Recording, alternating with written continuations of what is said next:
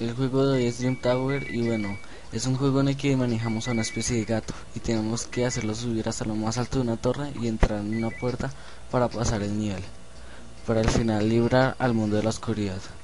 En el juego, los enemigos son similares a los Goombas en Super Mario, con la variante de que a veces los Goombas tienen sombrero y desaparecen, tienen escudo, lanzan fuego, tienen un cráneo en la cabeza, saltan o toman forma de todo y nos embisten.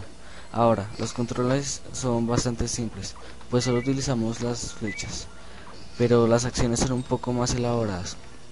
Para matar los enemigos hay que saltar sobre ellos, pero en algunos casos hay que saltar y oprimir la tecla abajo para matarlos. En el juego también hay extras, estos implican en rescatar gatitos atrapados en jaulas a lo largo de los niveles. En cuanto a gráficas, el juego cuenta con gráficas un poco más elaboradas a las de Super Nintendo y el escenario da la sensación de un movimiento en 3D muy similar a Thesaurus Towers del W200. En el juego eh, hay 20 niveles, los cuales aumentan su dificultad a medida de que avanzamos, aunque el nivel final está muy fácil.